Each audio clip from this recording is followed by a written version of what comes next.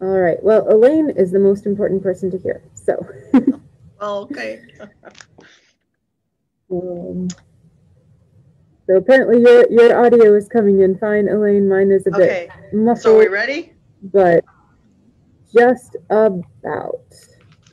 Okay. Well, here we go. Thank you, everyone, for joining us today at the virtual Chillicothe Public Library. It's my pleasure to introduce Elaine Snyder, who is a genealogist and researcher, and she's going to share some of her expertise and walk you through um, some of the features of Ancestry Library Edition, which is available um, from your home to these days. Um, that's kind of a special feature right now uh, because of COVID.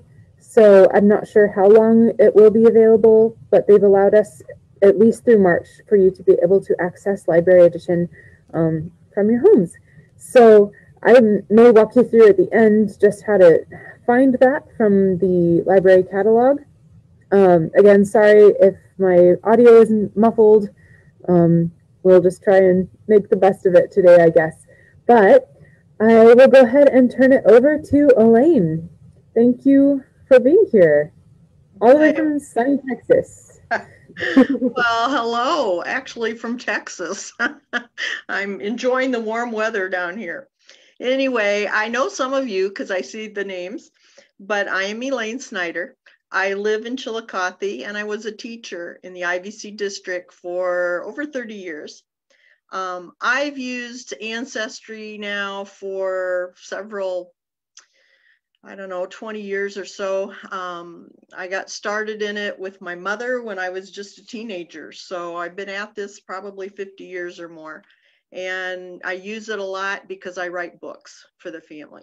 I, I put together a book. So, anyway, I'm going to show you today this um, from Ancestry, Ancestry Library, and help you to see what you can do it is not quite the same as Ancestry because you cannot build a tree with it, but it's here to do research.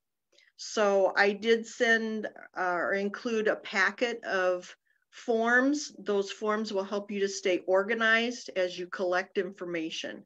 So that's what they were for. And you know, when you have questions, maybe something will come up that that you need to know. Okay, I hope you can see here. I've got my cursor. Um, if not, I guess you'll have to find a way to get a hold of Catherine to help you. Anyway, here we are, Ancestry Library. And across the top, you'll see some different categories that they're offering you. So I'll just kind of walk you through a couple of these different things and help you to know how to get started. Um, one of the things Ancestry does is this newspapers.com. And you see here they've got 262 million obituaries in that. I actually use that a lot. Um, you can go back into newspapers and find a lot of information in obituaries. There is one little problem though. They have two levels. They have an entry level, and then they have, of course, the more expensive level that you have to pay for. And I found that since a lot of my relatives spent time in Chicago, the more expensive one is the one I had to have because of the Chicago Tribune. And it's only released into the expensive level. So, anyway, um, here it talks about begin searching. And I'm going to jump right over here too. You'll see keep coming up that you can save these records. You can save them either printing them out or you can use a flash drive. But as you find things, it's a good thing to save them because if you have to go back looking for them again, there's a good chance you'll have to spend a lot of time trying to find that very same one. So the searching part, if we click here, it's going to come up with this um, little form to fill in. Okay, um, you'll you'll need to start with a first name and middle if you have it or initial, and then last name. And then this is very basic, the place where they might have lived, um, and then the birth year. I myself, my grandparents are from Germany, so I right away had problems because I can find things here in the United States, But as soon as I went to Germany, I had to go to a higher level of Ancestry.com, and I'll talk about that later. Here are some of the um, records that they offer. This is called the card catalog. And in that catalog are the thousands of different records that they have assembled for you. Now, a lot of times they'll offer you a chance to see the actual record. Um, keep in mind that 100 or more years ago, you know, the script, the writing that they used is kind of hard to read, especially if you get into other countries. So, what Ancestry has done on most of these things is retype them out so they're much, much easier to read. But of course, you might want to have a copy of the real document, which they can offer to you as well. Okay, I'm going to jump now to um, go back to home. And we start with this page. Okay, on this page, they're offering you how to or how to search the censuses, um, vitals like uh, births, deaths, marriages, uh, things like that. Then we have military, and then of course immigration. And the things that they offer you here are public member trees. Those are people who have a tree on Ancestry and they have marked it as public, meaning anyone who belongs to Ancestry can see the people in their tree. Now they also have a, um, uh, let's see, protection on it. So only people who are deceased can be seen unless that person gives you permission to see people who are still alive. And that is, of course, to help to protect identities. Besides public member, you can make it private. I keep all of my trees private. Um, I have some relatives who are concerned about other people seeing their ancestors' names, their parents, and such. So I, in order to, you know, appease them, I keep them private. That doesn't stop people from asking to see information in my tree. And of course, when they do that, I quickly say, um, why? Why do you want to see it? And more times than not, it's a relative. And so then I give them permission. They can go in and see the tree. If I don't like or they've done it long enough, then I can also delete them so they cannot see it anymore. But here's some things that you can find, and we'll probably talk about a couple of those as we go. We'll start here with census.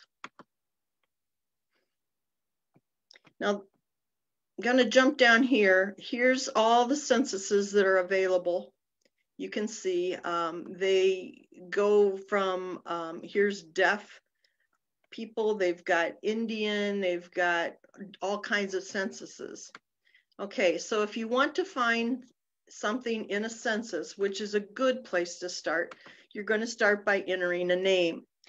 Okay, now to help you um, see how it's going to work, I hope it's okay, but I'm going to uh, use my grandparents. Okay, John Weinzierl was my grandfather. He was born in 1885 and he was born in Germany. So I am being very, you know, general for Germany right now. He died in 1954. The story is, is that I was a year old and he had had a stroke so he sat by my playpen and I entertained him for at least the last year or two of his life. So I kind of feel good about that. Okay, I'm skipping down here to gender is male. Nationality was German. Um, I can go back at the top and fill in some more things. Sometimes family members, spouse is good. I'll put my grandmother, and I will also put in her maiden name. Now that's important if you're looking for women. Uh, we know that once they marry, of course, their name changes, but a lot of the records, especially, especially early censuses, will have their maiden name. So when I get most of it or some of it in, um, you don't have to do it all, but then we'll click search. Okay, now what happens is the search engines in Ancestry have located people by the name of John Weinzierl. Now you'll see here, John Weinzierl at the top. Um, I don't know, I'm kind of in the way here, I guess. But here's another one, but you'll see it's not spelled the same. Okay, that's that's a warning to me to be very, very careful what I want to do. Now, my grandfather lived in Stanford, Illinois, which is Allin Township, and it is in McLean County. So I can kind of guess that that's probably him. Here is one listed with a sibling Benedict. No, that is not my grandfather. So be very careful what you're looking for. You want to prove as much as you can that you have the correct person. Okay, we're going to start here and I'm going to click or hold my cursor over this. And what Ancestry has done, as you, as you see, well, let's see here. I'll just click it. They're going to give us a view of the actual census, and I'll show you that in a minute. But what's nice about Ancestry is they've taken the information from that and typed it out so that I can read it. You'll notice when I show you the handwriting was um, census takers were just people who went from door to door and wrote down and filled out the form. And many times they can spell it wrong, they can get something wrong, they can uh, hardly read their writing. So on this particular census, we're going to find out that my grandfather was a farmer. He rented the house. Um, he he did finish eighth grade. And then this was the members that lived in the house at that time. There were actually eight boys, and there's only five here. So the three oldest ones had already moved out. And now we'll go look at the actual document. Now you can see they're they're difficult to read. I wonder if I can, okay, great, I can move that over. Um, I'm going to enlarge this over here on the right. And they've highlighted with a little bit of a yellow. Here's my grandfather, John Weinzierl. At this time, he was, um, let's see, he was 54 years old. He was from Germany.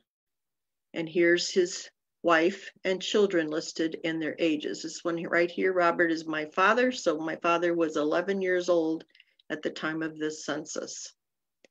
Now across the top, they will show you the categories for each. Now the problem with censuses that I see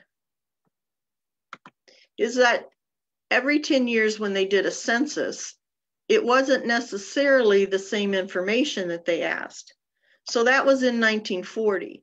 If I go to 1930 and look at its census, it might have a lot of the same information, but it also might have some different information. Okay, censuses are also kind of fun because you can see who the neighbors were. When I showed some to my mother, she was just, oh, I remember them. They live right down the road. Okay, now we talked about being able to save this. Right here, attached to this, they right away say, you can send this document. And if you click on that document, it will ask you for an email and they'll send it to you. You can also um, go in and look around. They give you information. You can save it to a flash drive and you might prefer to do that as well. But here's all your information. Here you see that they had spelled it wrong but then underneath they had changed the spelling. And just a real quick look, here again is the 1930 census. This one person had some pretty decent writing, so it's a lot, lot easier to read. And here is my uncle great aunt, great aunt and uncle. They lived just down the road. And then here is my grandfather. Okay. So that's how that works for census. Now, one thing about census that you will find if you're searching for censuses, and that is, let me get back to where I need to be.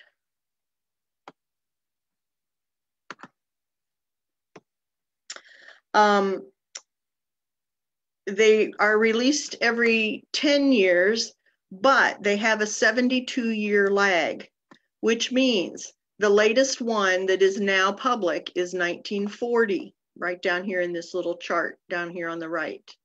1950 will come out in two years because they lag 72 years.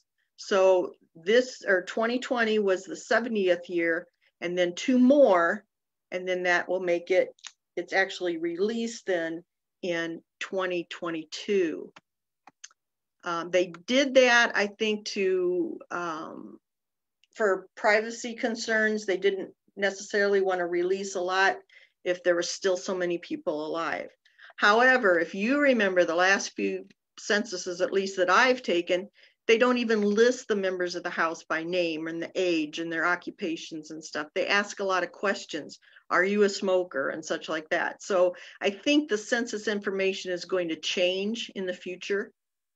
And so that's something to watch out for. Now, the 1890 census right here is a problem in 18 um, when that census was taken and it was stored in dc at the commerce um, building i believe us congress building they had a fire in 1921 and about 85 95% of all of the census was um, burned and lost here in Illinois, we they were able to save um, information from McDonough County and um, another county as well, but most of everything else in the United States was lost. So if you're trying to find something in 1890, you, well, good luck. you might not find it. And they probably will tell you that. It's called fragmented, that it was fragmented. Okay, so after census, we'll go next to vitals. Vitals are important things that happen during um, your ancestor's life.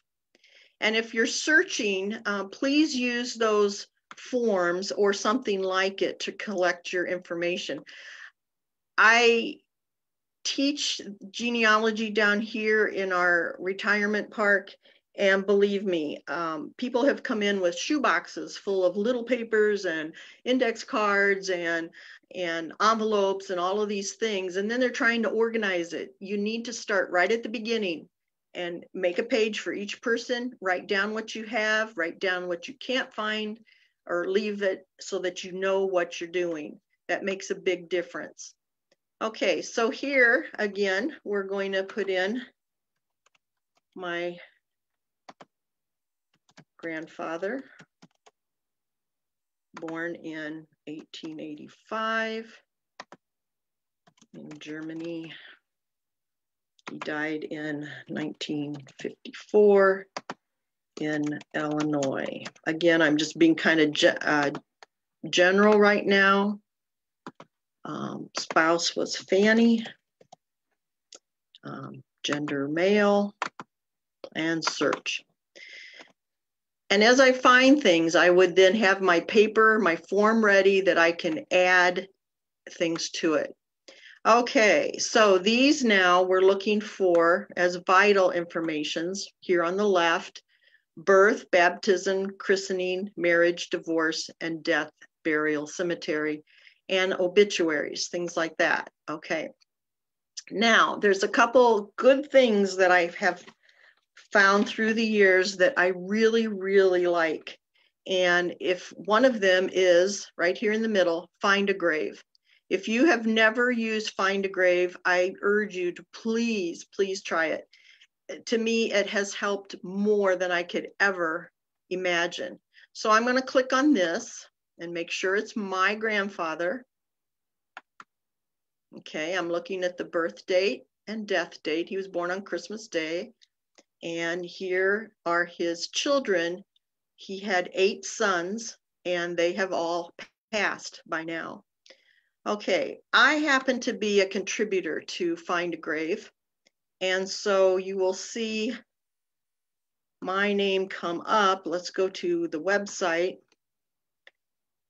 I walk cemeteries, I take pictures of graves, I add obituaries for people, friends, and relatives that I have.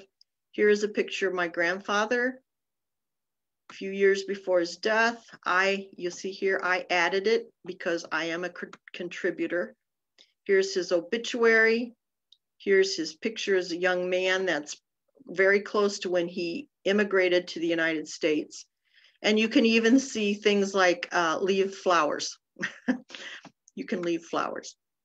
Now, what I have done on Find a Grave is I have located the graves of all of his children.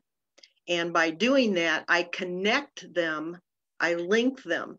And that way, as you find your person, you can find his spouse and you can jump to theirs. It's my grandmother. Okay. You can jump to one of the children. That's my father. You see, they're actually all in different towns, different towns, different places. But I have added pictures. This is an uncle. And then I can always go back. Oh, this is his wife and his son, but I can go back to my grandfather. So find a grave. If you go to memorials, they give you a start. Hmm, okay, here it is. Here's the cover page. It's just called findagrave.com. And you enter their names, first name, last name, where the cemetery is. If you know the city, fine. If you only know the state, fine. Each one, uh, I didn't show you, but each person is assigned a memorial number. And so if I have that number, I can type it in and it'll take me exactly to that very quickly. Here's some numbers that are going to show up. So that's possibly one of them. Um, you can look for all kinds of things here. You can go by cemetery. If you have a cemetery and you think one of your relatives is buried there, then go to the cemetery, put in the name, and it'll tell you all of the Weinzierls or whoever that are buried in that cemetery. You can look for famous people like John Wayne Marilyn Monroe and find their graves and here contribute. If you sign up like me, then you can contribute. I actually walk the cemetery in Chillicothe and um, I collect pictures for people. They'll send me um, requests, you know, can you find a grave for this, this, and this? So that's how that works. Okay, now let me get back to where I was. Do, do, do. Just keep going back as easiest right now, I think.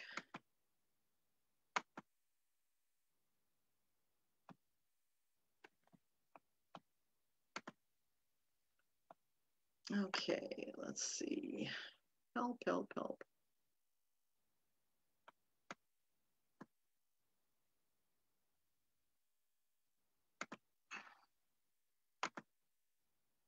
I don't want that. I think it might be the tab right to the left of the Find a Grave tab. Um, so the second to the left, is that where you're wanting to go back? This one? Um, no, the one to the right of that. Um, the one right between those two. Right there. Is that where you're going? Well, I was going to go back to our here, here, here. I got it. All right. okay. Thank you. okay.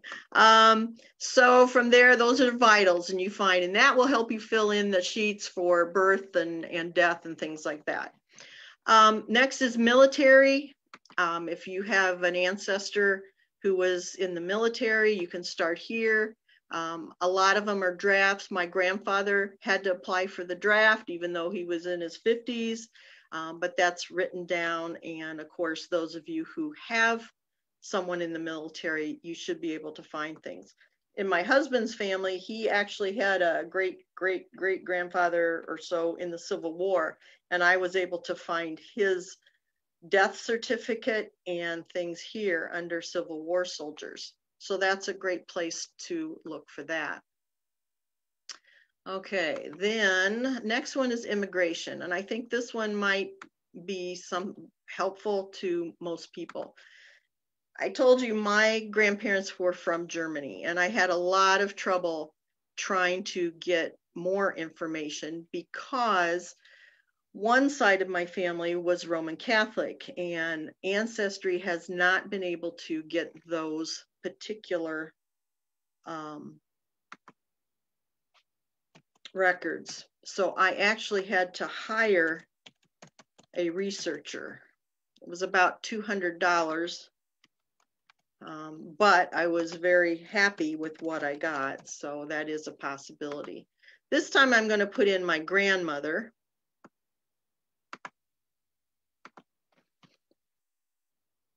And we'll search for her. She has kind of an interesting story. Um, and I told you that I started when I was a teenager. One of the things was my grandmother lived to be in her 90s, late 90s, and I would sit and she would tell us stories. So I actually was able to write those down. So I have about 30 pages of stories that she told. Okay, Fanny Beeringer. Uh, if I here, it gives me just a quick look. Again, I can kind of see to make sure it's her. Um, we'll pull that up. My grandfather, grandmother's mother died when she was 11 and there were several children in the family and as each one got close to age 13 this says age 14 but i happen to know my grandmother was actually 13 when she came on the ship because when she arrived at her destination in illinois it was on her birthday and she turned 14 that day okay here is my grandmother fanny beeringer it says she was 14 um, she actually came by herself. Uh, she was not with any relatives, but they had gone to the port to um, and bought a ticket. My great grandfather did, and he met this family. Uh, Warner Werner were their names, and they had three children. And so the deal was my grandmother would kind of hang with them and kind of watch over the children.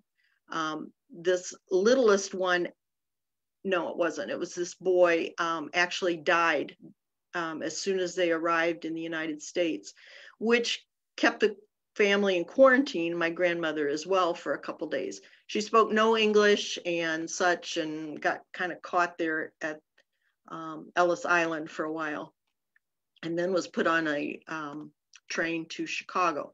But here at the top, you'll see, now you're going to run into this. This is in German and you might not know what all of these mean. Okay, I didn't. So what I had to do was find like a cheat sheet, and I I don't know for sure if I included that. Anyway, um, it's a lot of different words, common words used for different countries, and that will help you to know that you know the surname, the first name, um, their age, and things like that. So you might want to have one of those handy as you're searching some of these records. I've done some research on her ship and things like that, and it was really kind of neat. Now I can go back here and edit my search. Time is it? Okay. Um, I'm going to just show you real quick one thing again with my grandfather. He came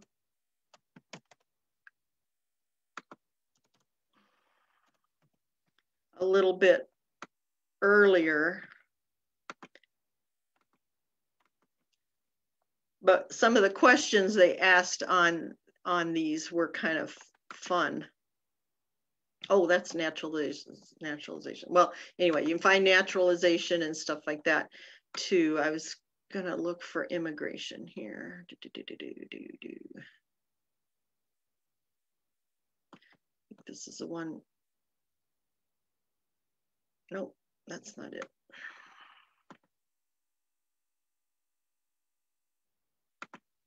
This is it. Again, you got to watch your names spelling. Okay, one of the things um, on this one, he's right on the top line. Said he was a laborer, he was 18. Um, but right here in this one, did he have $50? No, he only had $25 when he came. so um, that kind of shows you maybe why they had to come. You know, he was poor, he had to find a job. He actually had a brother living here at that time. So that was probably the other reason. Okay, let's back up to that front page again. Immigration is, is good. Um, when you are on the Ancestry, you can actually also find information on their ships, pictures of the ships, things like that. Okay, so we've kind of been through these four. Now let's go back here to the top.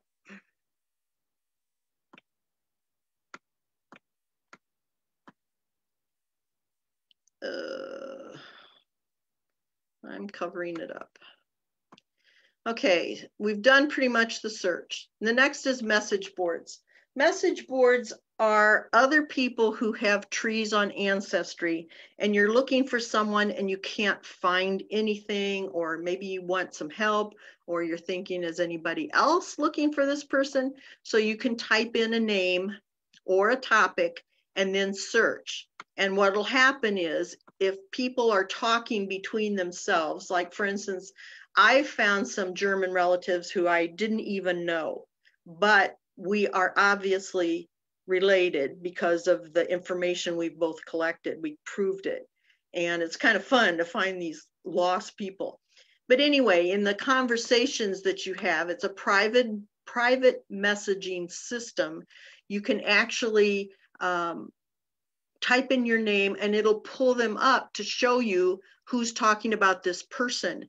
And it gives you a chance then to connect to them and ask them a question. You think so and so, you know, was related to this, and can I see your tree and things like that. So message boards are kind of fun. You probably will do that a little bit later after you get more information down. The next is the Learning Center. This is something you'll want to do. As you see here, it's research aids. And what they have done is provide for you some tips and how to um, search for things and maybe help you know what you're doing. Okay, here's for getting started. Um, here's DNA down here if you're interested in that. It tells you a few things. Here's census tips. And when you click on these, um, you're going to get some um, information to read about but they're going to talk you through some of these things. Okay, you'll see here some pages, and each of these are just like uh, information collected that they've collected and put together for you to help you understand what you're looking at, why you're looking at it, and you know, just to help you know what's going on. Okay, I got to X out of that one. And then, of course, we have um, census, we have basics, uh, military comes under that. Immigration, here's more about um, finding your, your uh, ancestors and such. Military, and then ethnic if um, for instance finding german ancestors that's one of the most popular ones to find but in some ways it's very hard because the old german script was used before Hitler. When Hitler came into power, he forbid them to use it. So it disappeared very quickly. And now, because of that, there's very uh, limited people in the world that can actually read those, those things. So um, next after Learning Center, there's charts and forms. I made a packet of some that will work. These are also some ideas. You can download these. Um, here's a research one, which is good. It can kind of list things that you've looked for and such like that. And here's the group sheets. I included ones that I use down here in Texas with my group. So, and then finally, um, well, you got census forms too, I guess. Um, and then new collections. Um, they're always, always adding more and more records. I get notices probably once or twice a week of some new things that are added. Here they're saying there's 10,583. Um, you can search, uh, narrow your search down to these here on the left, or here you can look down. Um, Canadian Find a Grave, I've had to use that because we have some Beeringers that live in Canada and it just goes on and on and on. There's 11 pages down here of them. So those will help you too. Um, where are we? Some tips that I have found to be helpful. I've done this a long time and I'm continually learning. And of course, in our group, we have people who are brand new, never done it before, people who really know what they're doing. And so I'm constantly trying to get what is helpful to me. Okay, I made kind of a list here, so you might want to write a few things down if you need to. First of all, use the sheets, the forms. If you just start writing in a notebook, it's going to get confusing. I did that as a kid. And to this day, I still have those notes that I made when I was like 14 years old. And it jumps from family to family and back again, and this way and that way. So keep the sheets and add things to the sheets as you use them. Um, if you want, you can validate them um, according to records and maybe star it so you know it's it's exactly right and stuff. If you go to other people's trees, at one point in here, it showed how you could uh, look at public trees here, right here, public member trees.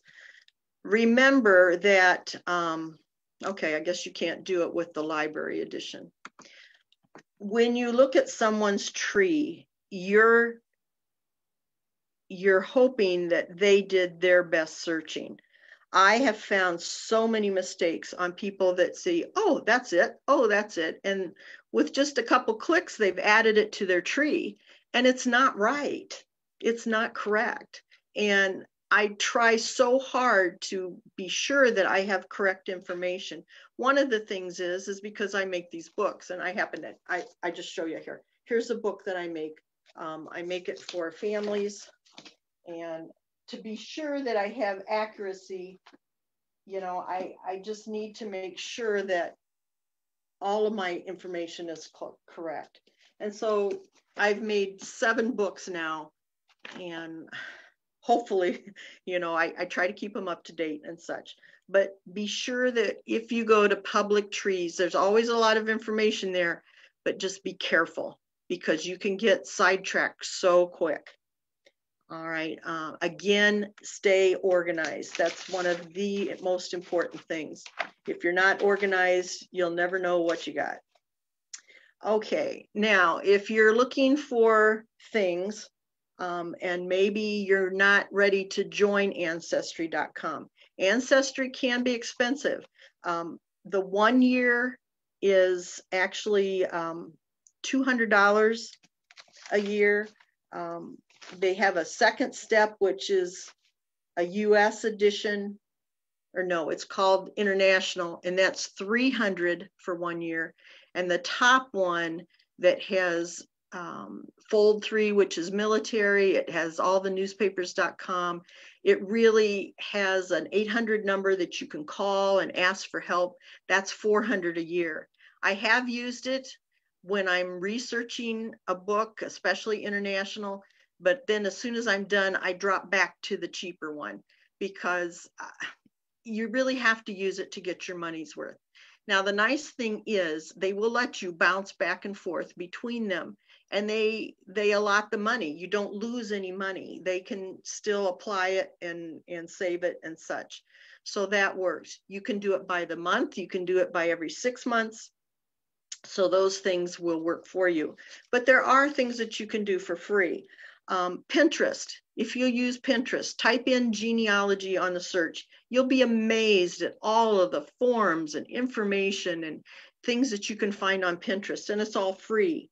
You can go to YouTube And again, type in uh, genealogy. There's all kinds of videos that will show you things and where to look.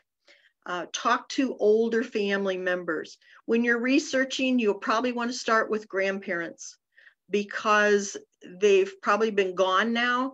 And yet they're still recent enough that you know you should be able to find um, records fairly easily.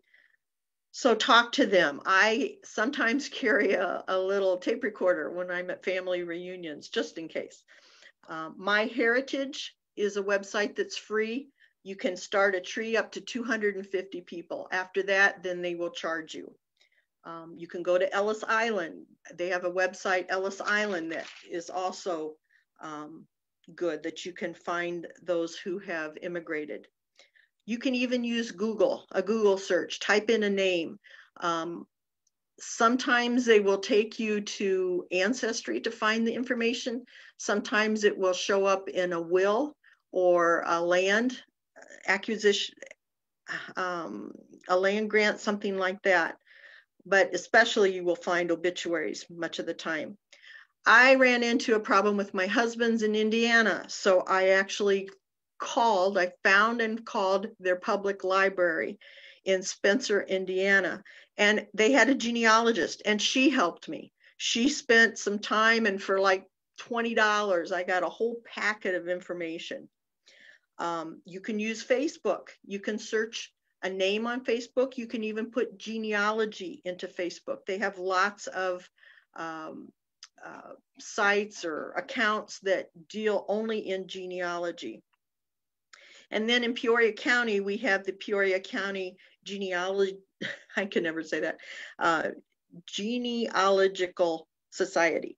It's about $20 a year, which is a good deal. And then probably nine months out of the 12, you get a speaker and they meet in the north branch of the Peoria Library. Of course, now with COVID, that has not happened, but they are on Facebook um, and just look for them. And they do have really good things to do and a lot of help as well.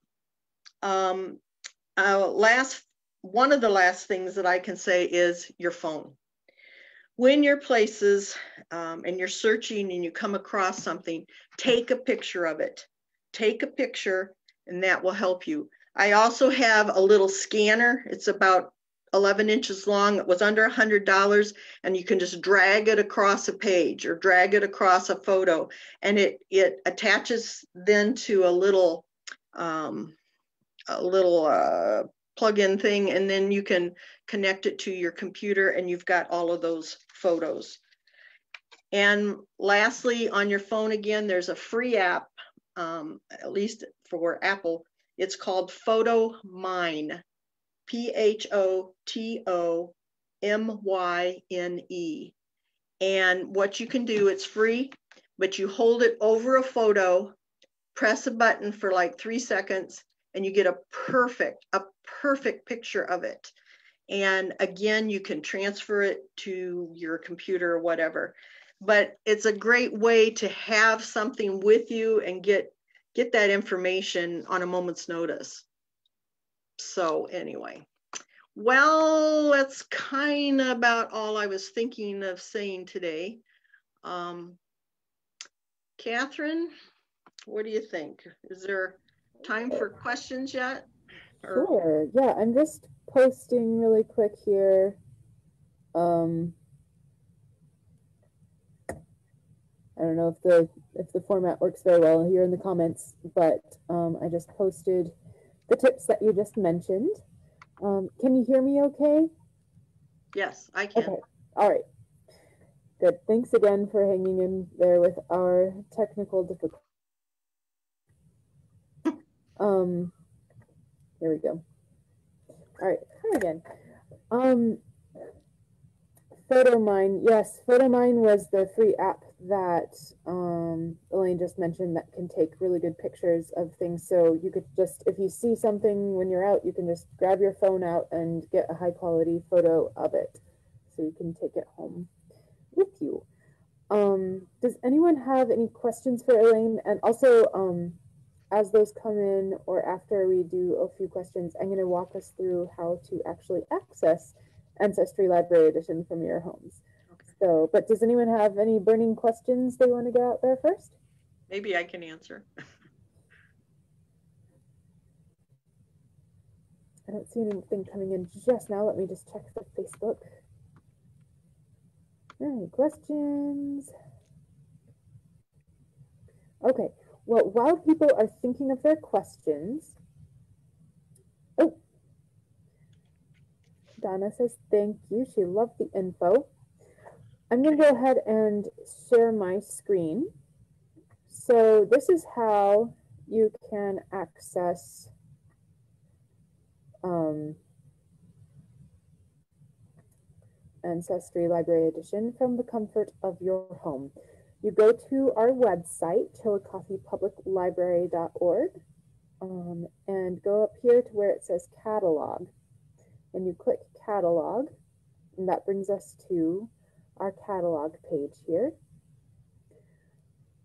And once it loads up, you'll see that here we have this logo that's kind of um, blurred out for Ancestry, and it says log in to activate. So the first thing you need to do is at the top of the page here, you click log in, and I'm just gonna log in with my own information here.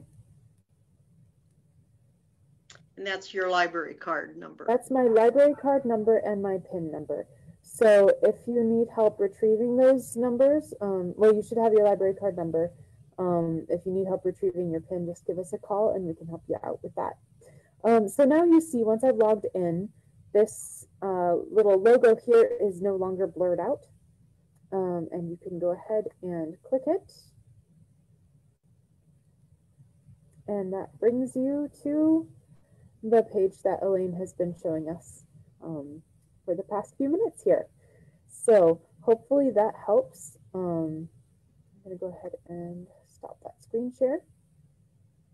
Um, anyone have any questions on that or think of anything else to um, ask Elaine? One thing I'm asked a lot of time is about DNA if anyone's interested in that. Um, let's see if I can find it. Okay. Can you see the DNA now? I think you need to hit share screen. Share again? I thought I did already. Yeah. Um, you have to hit the green button, then choose the window, and then hit the blue button. green button the green share screen and then choose yeah. your screen. Well, that's my problem. The green button hardly shows. Oh. Green button. Here. Share. Yay. No? Yep. Yeah. Yes. Okay. All right. Here's DNA. I did DNA a few years ago. I've got my mother to do it, my uncle to do it um, and that and it comes back first of all with general information i happen to be 93% german really when all my grandparents were from germany um, so i wasn't too surprised about that um, here it lists my matches now this means here 329 people fourth cousin or closer who have accounts on ancestry share some part of my dna they could be far, far down the line, as many as I think they go maybe seven, even eight generations away. But these are people. And what's kind of neat is I can click on this and see all my matches. And then I can contact them if I want to. Here's my mother, my brother, my uncle. And as I go down the list, there's other people who happen to be in my family. So I can share with them, I can talk to them, anything like that. Another thing I like about this is called ThruLines over here on the side.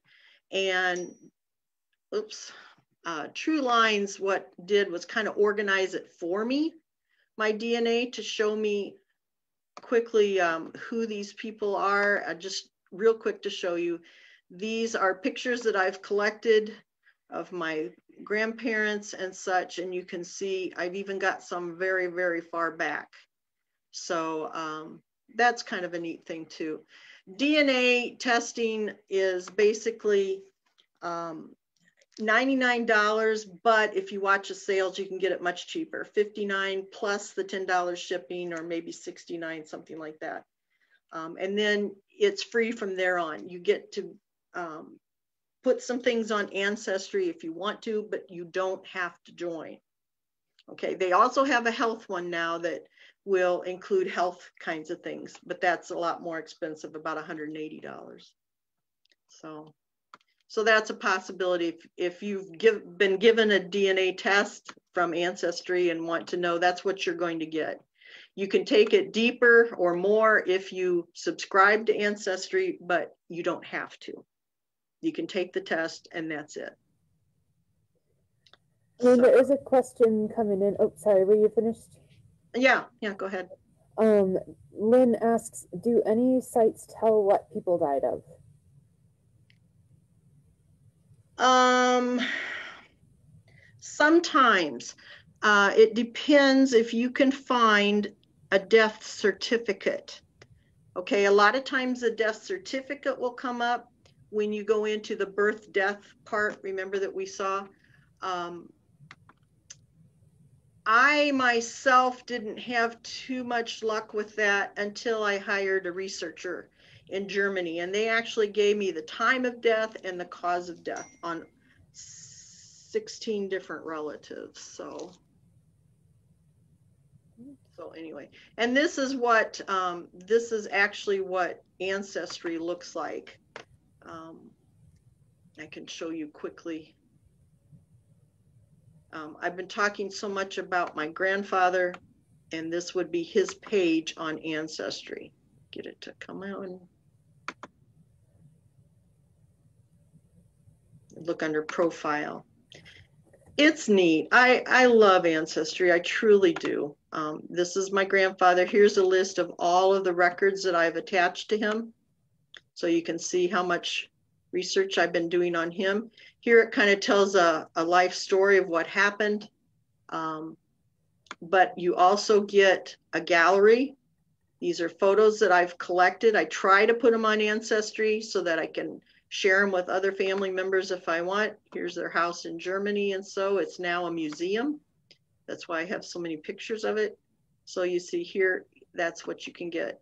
And hints. Hints means that Ancestry has found something they want me to look at. Um, so those are things that you'll get if you subscribe to Ancestry. You'd have to build the tree and then they generate all of so many of those things for you. This, they've made up a story.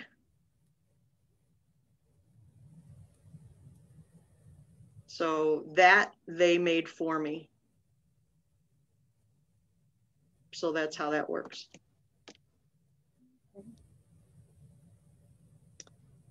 Um, I like Ancestry. I know it's somewhat expensive, but it's once you learn it and it's not hard to learn, I really think it's all there. You just have to have the time to search, and it does take time. It does, unfortunately. I thought when I retired, I was going to have all this time, you know. and I'm so busy. but well, thank you so much for for taking time to join us today. This has been very interesting and I think helpful. Um, and in just a couple last minutes here, does anyone else have a question? Um, if it's too much to type out, do feel free to raise your hand um, with the little tool at the bottom of the screen and I can let you talk. Um,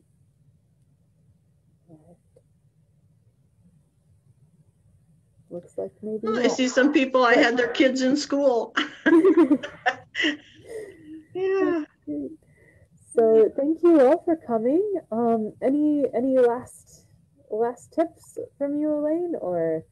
Um, none that I can think of right offhand, but I help a lot of people down here. I have started trees for people. I I kind of hesitate to say I'd start your tree for you, but You might get to I for more business than sure- yeah, you wouldn't believe how many trees I've got on my account.